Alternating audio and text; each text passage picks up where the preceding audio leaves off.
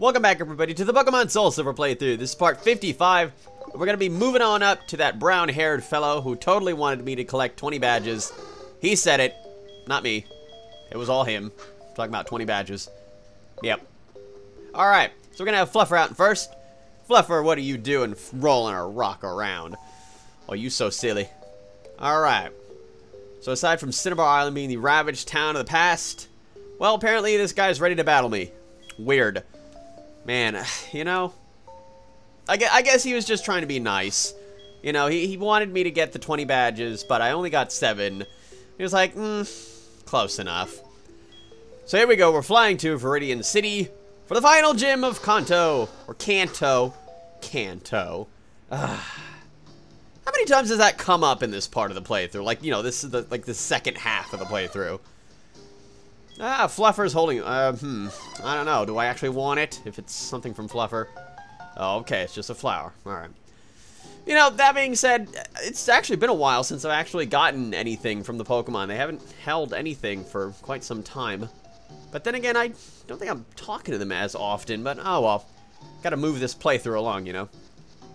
Now, I'm such an old school gamer, I'm so used to, um, going around the right side of the gym because that was pretty much the only way that you could get to the door. Uh, fortunately, they made a gap between the trees and the left side of the, the gym so that you can just cut around through there. Anyway, so Gym Guy is totally telling me that I need to put my Pokemon away very similarly to Clair's Gym in Johto. Yeah, that one. The one with the crazy lava on the bottom. Alright, so, uh, sorta like Clair's gym, this one has a crazy maze that you have to figure out. And, uh, yeah, as if, if you couldn't tell from the looks of it, it's pretty confusing. So that being said, I'm gonna, well, aside from trying to figure out how to get through the gym, I'm certainly going to be battling as many trainers as I possibly can here. Now, we're gonna be having Fluffer doing some magical stuff here. Now, the reason why I had Fluffer out was because, well, let's just say I kinda haven't played Gold and Silver for a pretty long time. So I forgot how the Viridian Gym works in Generation 2. Uh, I'm so used to it being, you know, a rock slash ground type gym in Generation 1 and 3. As we're talking about Fire Red and Leaf Green. Um, but yeah, that's not the case here. Unfortunately. But hey, Fluffer's still holding his own. Oh my lord. Uh, maybe that's not such a great idea. I should probably switch out. Now, this is the first Tauros of the playthrough, but I decided to speed this part up because it just took god-awful long to deal with this Tauros and subsequent Pokemon that these Ace trainers will have. Clair had Ace trainers in her gym too, and look at that crazy Tauros. He totally fainted himself with the recoil on takedown. Amazing job. Well, speaking of job, that makes my job easier. You know, doing all sorts of crazy battle and playthrough stuff. Hello, how you doing? Come here often? It's such a wonderful gym. And no, I respectfully disagree with you, lady. Salma. Salma. That reminds me of, um, um, what's her name? Um, Samara. Right, Samara from The Ring. Ugh, God. That freaky movie. Yeah, so apparently Slowking's got Flamethrower. Now, I didn't learn my lesson the first time. I was kind of thinking that Fluffer could kind of tank a couple of Flamethrowers, and that simply was not the case. Alright, so we got a new Pokemon coming out. The first Lickilicky of the playthrough. What an uninventive name for an ugly Pokemon. Just a very unnecessary evolution to a, a, very unpopular Pokemon in Lickitung. I don't think there's I don't think there's anybody that has sent me a, you know, a favorite memory or a favorite Pokemon that listed Lickitung as their favorite Pokemon. No! Nobody likes Lickitung. Where's Pinsir's evolution? Where's Kangaskhan's evolution? You know, like, give an evolution to one of, like, the cool Pokemon. Nonsense, Lickitung. Anyway, taking care of that Lickilicky like it was nobody's busy business. Yeah, I just came up with corny stuff. That's what I do. If this is perhaps the first video you're ever watching that I have done, and you're still watching the video to this point, I make up corny jokes. That's what I do. It's what I do best. Oh, yeah. See, I, I noticed a very long strip of like a runway and I was wondering what was going to happen at the end there, and of course it's a double battle, which I'm so unprepared for. So unprepared to the point where my weakest two Pokemon out of every Pokemon that I have caught so far are the, the double battlers. Might as well run with it. Alright, so once again, this is first Porygon 2 of the playthrough, but once again, it took god-awful long to deal with these two. And I'm just to look away because this this was actually... It was disappointing. It was heartbreaking just how long this took. So I'm to get to a couple shoutouts in the meantime. Um, Zombies Rule Zero says, My best memory of all was when I first started watching Pokemon the cartoon slash anime. Because my mom bought me and my sister a Pokemon CD with what are now favorite episodes on it. The episodes were one about a Scyther and Electabuzz who were sworn enemies. Ah! I remember that one. That was the one where Pikachu shows his love for ketchup. Ah, that one was great. What about a Snorlax who was blocking a waterway, and one about Ash's Pikachu accidentally swallowing an apple whole and having to go to the doctor.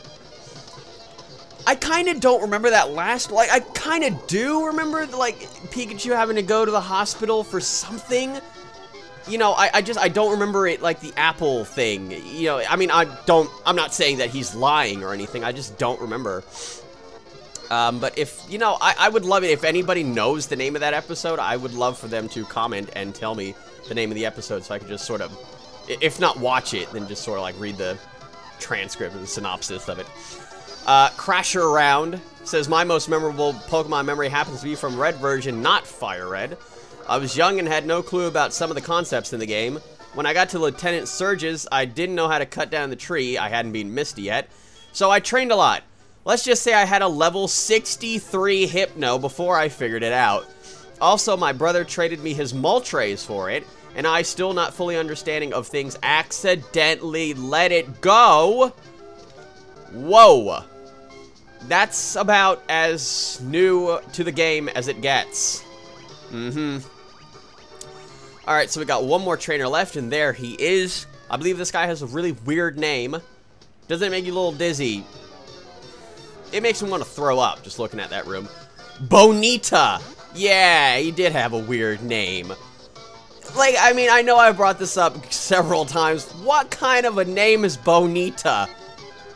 You know, just the fact that, like, the beginning of his name sounds like bone. N no! I would never want to name my child anything with the word bone in it. God. Anyway, this Spinda is deciding to be the most annoying little Spinda I've ever seen. Doing all sorts of annoying little tactics, and uh, now we got Sudowoodo here. Who, of course, is a Pseudo... Whoa! Okay, that was a lot of damage. And, of course, he just had to have a Rock-type attack that was super effective against Fluffer. But Citizen Zap, taking care of business.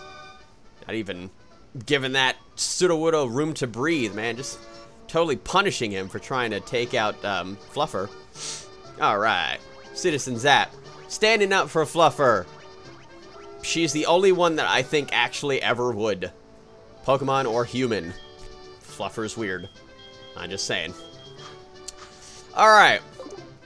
So, uh, like, the beginning half of this video, up until, like, this very point, kind of like it kind of screwed up. The sound was a little off key because the, for some reason it recorded the sound like faster than the video, so it desynced, and I had to slow down the sound so that it synced up. So yeah, I, I don't know if anybody could tell over the sound of my voice, but it was a little off key. But now it's fine because this was a different video that I recorded. So now everything is in key. Yes. Uh, Alright, so uh, getting rid of Cut on Fireball, finally. The most useless attack Fireball has ever had, and he's had it for the longest time. And now instead of giving him whatever that fire hyper beam attack is, I decided to give him overheat instead, because I like it a lot more than the hyper beam thing, because I don't want Fireball to have to like recharge for a turn. I'd rather just have him attack. Alright, so enough of that nonsense. We're now battling Leader Blue, the final gym leader of the Kanto region. He's the eighth and final gym leader, and he is the former champion of Kanto three years prior, as were the as were the, uh, as was the timeline of red, blue, green, fire red, and leaf green. Yeah, whatever. Anyway, not gonna, not gonna all delve into all this um, English wording and trying to find all fancy big words and such, even though I tend to do that from time to time. Citizen Zap, leveling up, nailing that Exeggutor for four times damage with a bug type attack. Exeggutor is weak, four times weak to uh, bug type attacks because he's grass and psychic. Works out. See, like, I was under the, like, I had Citizen Zap out first because I was under the impression that he was going to use a certain Pokemon of his that is weak to electricity. Unfortunately, he sort of changed it up on me. Not literally, though. I was just misinformed. Okay, Fluffer missed, Rhydon missed, so we're back to square one. Fluffer getting that Stun Spore. Hopefully that Rhydon will not nail Fluffer with Stone Edge. That's going to be devastating. Thank God it missed. It's going to be devastating because, of course, Rhydon is part, part rock type, so it's going to do stab damage. That's not going to be so much fun. So we're going to set up Stun Spore, Leech Seed, and I don't know if Fluffer's still going to stay. Yes, Fluffer's still going to stay out. He's going to do Solar Beam. Gonna try for it. Rhydon's paralyzed.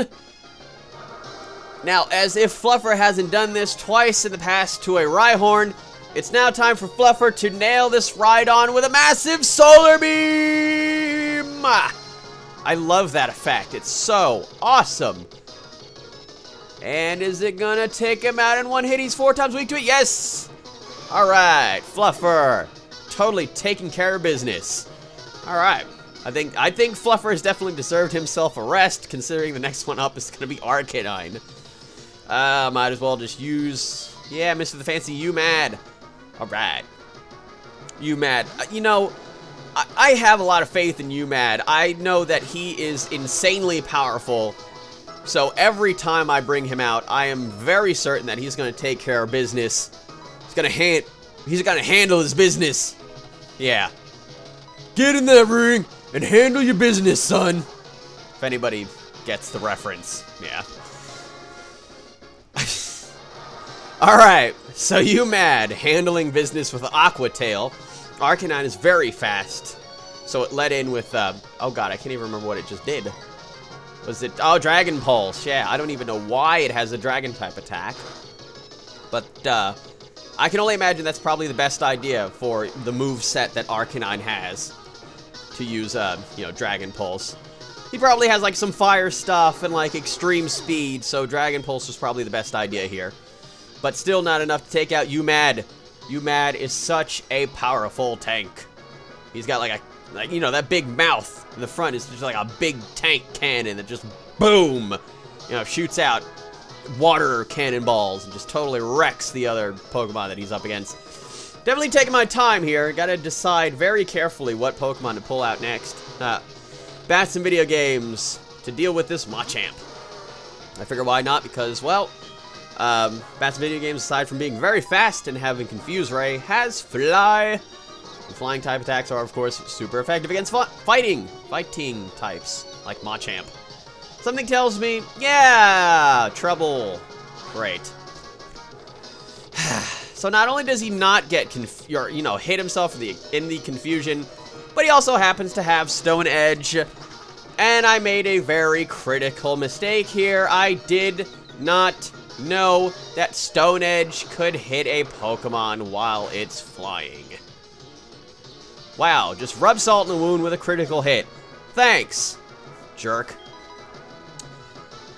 Well, you know what? That, that pretty much pissed me off, so you know what? Fireball, go get him! It's time for this friggin' Machamp to taste the heat. The overheat! Nail him with their new attack! Overheat got massive damage, but after you use it, the user's special attack goes down two stages.